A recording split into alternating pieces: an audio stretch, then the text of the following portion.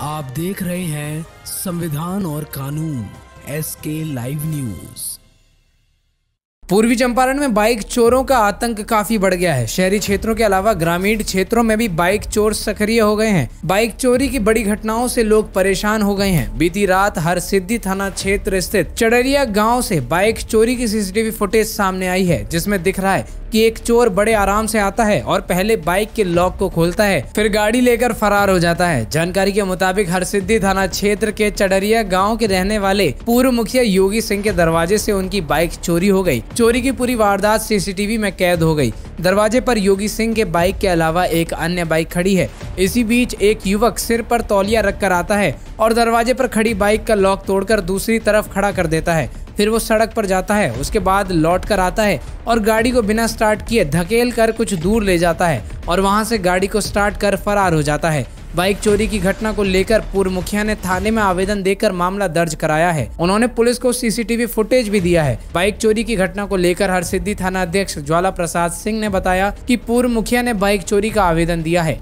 CCTV footage से चोरों की पहचान कराई जा रही है। जल्द ही चोरों को गिरफ़्तार कर लिया जाएगा।